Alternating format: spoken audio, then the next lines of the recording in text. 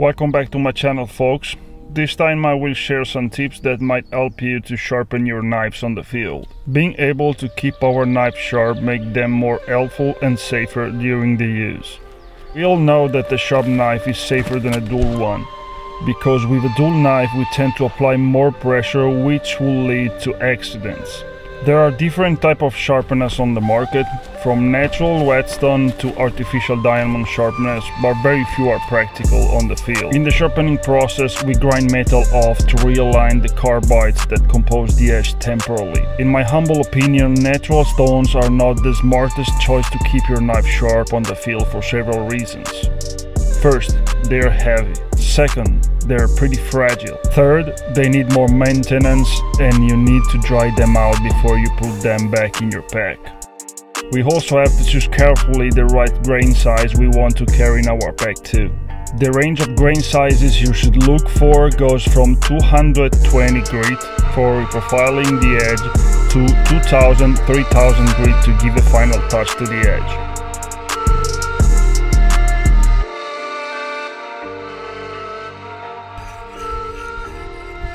Before I share my tips, remember sharpen your skill beforehand. Learn about sharpenings at home and then try these things out to see what works best for you, your system, and your knife. So, here's my tips. First, to me, the perfect sharpening system needs to be light, effective, and easy to use. Get a couple of good quality diamond stones and a leather strap to eliminate the burr created by the sharpening process. Second tip, use your knives when it's really needed. Your knife is a tool, not a toy. Even we often love to play with it, I know that uh, because I do it too. We can break sticks with hands or we can use our knees. We can also use our folding saw instead, because conservation of resources should always be the main priority for us. Third tip, always strop your knives when you have done with it. It will keep carbides better aligned for longer period, so the health of the edge of your knives will last longer. Just keep a piece of wood with a leather layer attached on it, with a bit of sharpening paste in your pack. Even a leather belt can do the job. One important thing for your safety. Never sharpen or strop your knives between your legs unless you want to play inside your blood triangle.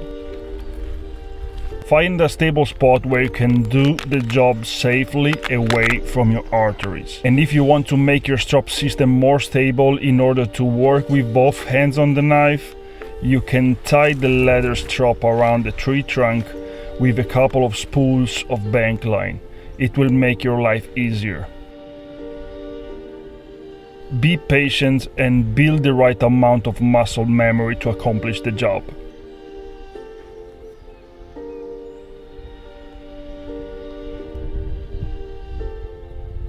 By the way, even jeans works very well for stropping the knife. I used to keep a jean strap in my pack all the time.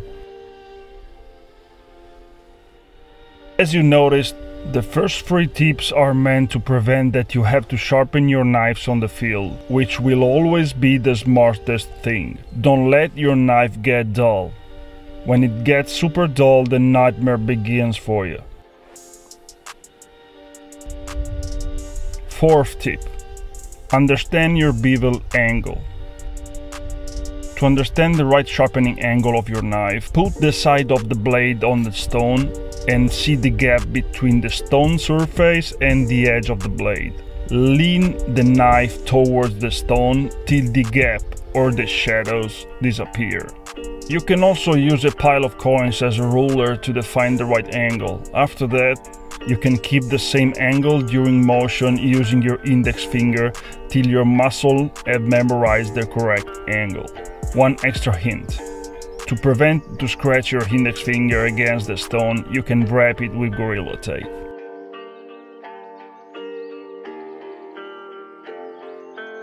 Fifth tip. Create stone holders. We're not cyborgs, you will be more precise and your movements are more accurate if you stack your diamond stone on a stable platform.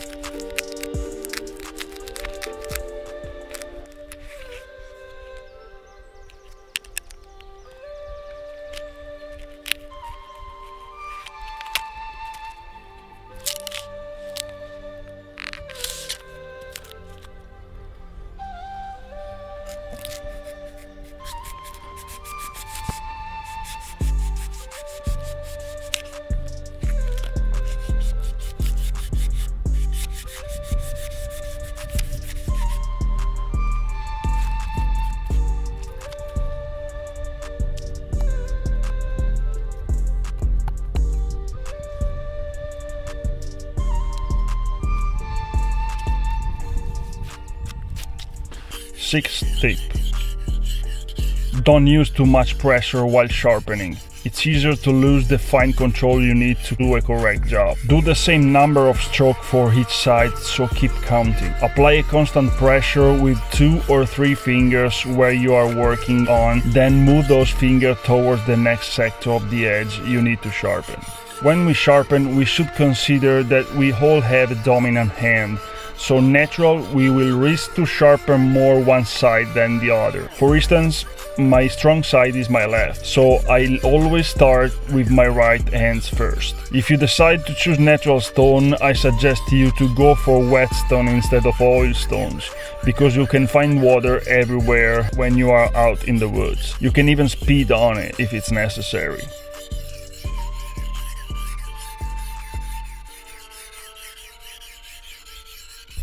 I want to show you my way um, to sharpen my knives. That really worked in the in the last two three years for me. It's a, a very easy system, pretty light that I created to give a touch to the edge of my knives and keep my knives sharpened without carrying too much stuff with me. Actually, uh, this system that I've created is the only system that I carry lately. I have created a pretty simple platform which is made out of a bar of aluminum which means pretty light and I attached a, a, rubbery layer on the back so it stay in the place where I put it on. Since all my knives are uh, convex or with a convex edge I, I had to find an easy way to sharpen them on the go. I came out with this layer of aluminum adhesive foam layer that makes the surface soft. So when I push, the surface bend a little bit and follows the shape of my edge. How's that work? For me, the best way to sharpen a knife is flexible cloth aluminum oxidize. Steel sandpaper. You can find it in every hardware store. It's pretty simple. You have layers of sandpaper. Uh, what I usually do is I cut all the layers in different strips. 320 I go up to 600 then I go a thousand a thousand two thousand and sometimes I also carry 5000 just for polishing the edge. How can I attach it to the system? I'm still working on it. What I usually do is I take one of the strip I just lay it on my sharpening system I bend one of the edges okay and I use ranger bands that I made out of the inner bicycle tube. I block one side, another ranger band to block. Okay. And now I have the steel sandpaper really attached to the surface. So when I have to sharpen a knife, uh, of course I always put these on a stable place I will show later but what I do is moving like stropping on the surface the surface bends itself according to the how much pressure I put on the on the stroke. okay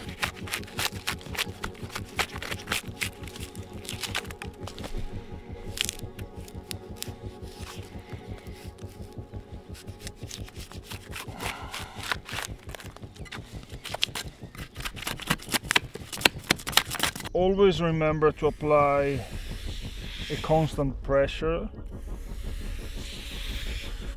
and apply water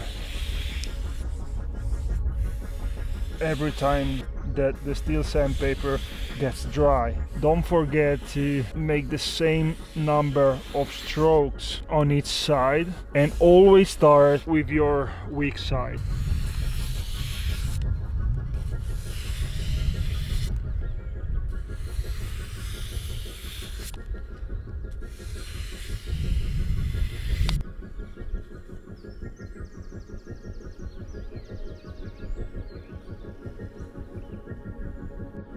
This stropping device it's actually been made by one of my dearest brothers Marco De Carli um, you can check him out on Instagram under the name the Grey Wolf 77 it's made out by very high quality wood and a top-notch leather. I've also noticed that the jeans works really well for stropping our knives. This is a very old one. I think I made this jeans strop four or five years ago I need to make a new one. That's the usual size that I keep in my backpack. But with the new Marcos leather strap I'm really happy and it's stropped really well so check him out. By the way this is one of the latest toys I've tried lately. Uh, it's made by Work Sharp it does have a fine diamond sharpener on one side a coarse one on the on the opposite side. Uh, both have uh, a 20 degree guide to help you out to keep the same angle. You have a leather strap and you also have, have a ceramic rod. And you also have a small ceramic rod for serrations something that I will never use because I don't like serrated edges. It works good definitely not something for me. The quality of the diamond plates seems to be good. Uh, I don't know if they last long. What do you think about this fancy stuff? If you have any experience using these sharpeners, uh, please let me know in the comment. I truly hope that this video will help you out in a way to understand more about sharpening. You only need practice practice practice practice. And about my sharpening system that I've created I know that it's still a, a, work in progress but I'm really happy since now. Why I love it? I love it because sandpaper is almost everywhere. You can find it in every hardware store around you and it's way cheaper than uh, diamond stones. They won't last longer like a diamond stone but for what they cost it doesn't bother me any. It's pretty light and pretty compact. It disappears in my in my backpack and even if you want to build one up it's it's going to be really cheap. So let me know what you think in the comment. That's it for today and see you in the next video.